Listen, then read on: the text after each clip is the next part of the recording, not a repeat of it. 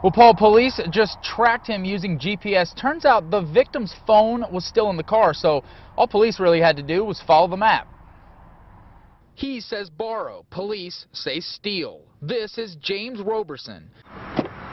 He told police he was borrowing a car from someone he didn't know to get home from court. His deceitful drive didn't last long.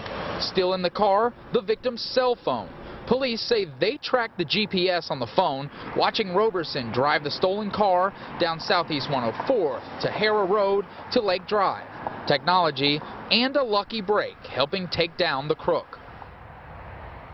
Now there are a number of apps you can download for your phone that'll basically turn it into a GPS tracking device. Now tech experts say that turning on your location settings inside the phone can also help you track it if it's stolen. Reporting live tonight, Brian Shlonsky, KOCO 5 News.